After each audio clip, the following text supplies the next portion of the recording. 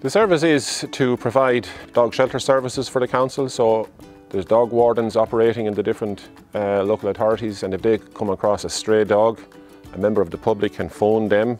The dog warden will come out and pick up the stray dog. The dog comes into us then and we'll scan it to see if it has a microchip. Our first job is to try to rehome that dog with its existing owner. So we'll advertise it on Facebook. If it had a microchip, it makes it much easier because there's a name and phone number registered. Uh, if there's no microchip, then we'll simply get the dog checked out by our vets and hopefully uh, try to make contact with the owner. If after five days the owner doesn't come forward, we'd make that dog available to be rehomed by any other member of the public. We have six staff here in Hollygrove Kennels, full-time staff, and we also have a veterinary practice who are contracted as well. They would be in and out occasionally during the week as required. The staff are everything here. The staff are the ones that's here with the dogs, feeding the dogs, exercising the dogs, assessing the dogs, and also assessing different owners that would come forward to, to potentially rehome a dog. Every home has a different situation.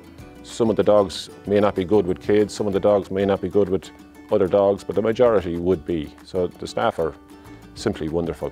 The process, whether a dog warden has picked up a stray dog or a member of the public brings in a dog, they might have picked up a dog themselves they found straying in a park or outside a school. And as I said earlier, some people would be simply surrendering their dog.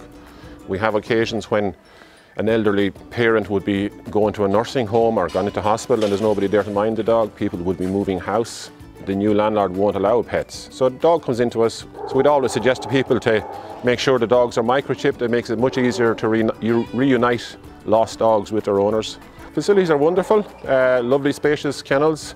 And we have different sizes for different sizes of dogs. We have heat lamps, we have bedding, raised beds, we put vet bedding on it. It's a lovely facility, really is. We've lots of space then, we've exercise areas. We also provide the dog control services for a few of the other county councils around the country, namely Kilkenny, Carlow, Clare, Roscommon and Meath. So we have quite a lot of experience in doing this in different settings with different councils. Altogether we would have probably 22, 23 staff between all the different facilities.